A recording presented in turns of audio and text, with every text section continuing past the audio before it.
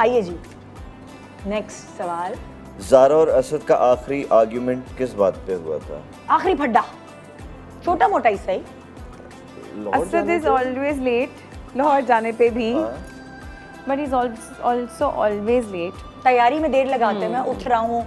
उठ रहा हूँ अच्छा भी कहीं तैयार। जाना हो तो जब मैं तैयार होके फ़ोटो शूट करवा के खड़ी होती हूँ हाँ।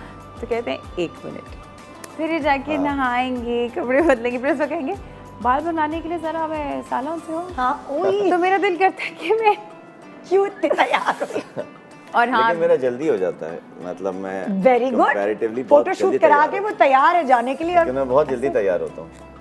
चले। पंद्रह मिनट चाहिए उठने में आप जो टाइम लगाते हैं हाँ, मेरा हो होता है। जाते ही। इज़ अ प्रोकेस्टिनेटर इनके हाँ। अब्बा और मेरे अब्बा भी इसी बात पे कहते हैं कि ये जिस दिन वक्त पर।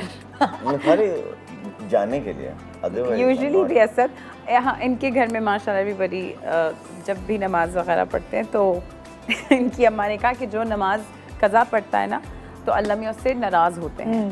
तो इनको पता है ये बात पता नहीं एंड में कोई नमाज़ असर जा रही थी तो उन्होंने कहा अच्छा अभी गई तो नहीं है ना अभी बिल्कुल मगरिब से पहले उन्होंने कहा असर तो मैंने कहा अब आपको नहीं याद आ रहा कि अब आपको अम्मा अब्बा की बात याद नहीं आ रही। जब हमारी बारी आती है उस पर आपको अम्मा अब्बा की बात याद होती है। कि नहीं ज़्यादा उठो नमाज़ पढ़ो।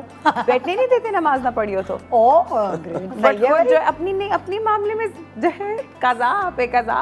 नहीं नहीं ऐसा तो नहीं है।